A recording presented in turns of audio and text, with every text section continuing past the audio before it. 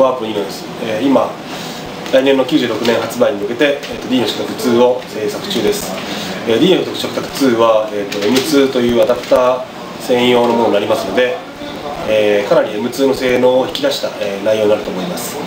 えー、まず一つに、えーと、リアルタイムポリゴンをかなり使いますので、えー、前回、えーと、城の中を動くような部分が前回は、えーと、映像だったものが今回はリアルタイムポリゴンを使って、えー、自由に動けるようになります例えば好きなところで止まったりとか好きなところで振り向いたりとかかなりその辺がアドベンチャー度が前回よりは少しアクションっぽくなるんじゃないかと思います、えー、もう一つに、えー、前回少しさっきも言いましたけどちょっとアクション性がされます、えー、どういったものなるかっていうのはまだ今は言うのが難しいのですがもしかしたら今回のこの記事の中では書いてあるかもしれませんのでその辺をお楽しみください、えー、最後に、えーと、エンペグを、えーと、M2 というのを持ってますのでエンペグの機能を使ってかなり細かい、えー、綺麗な映像が入ります。前回の演出のデモシーンなどが今回では、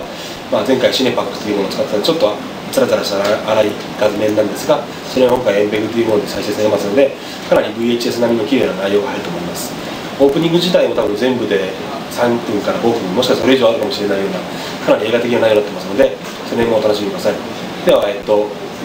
本編の方 D それ2を来年の多分春ぐらいかな見れると思いますので、えー、ごどうぞご期待ください。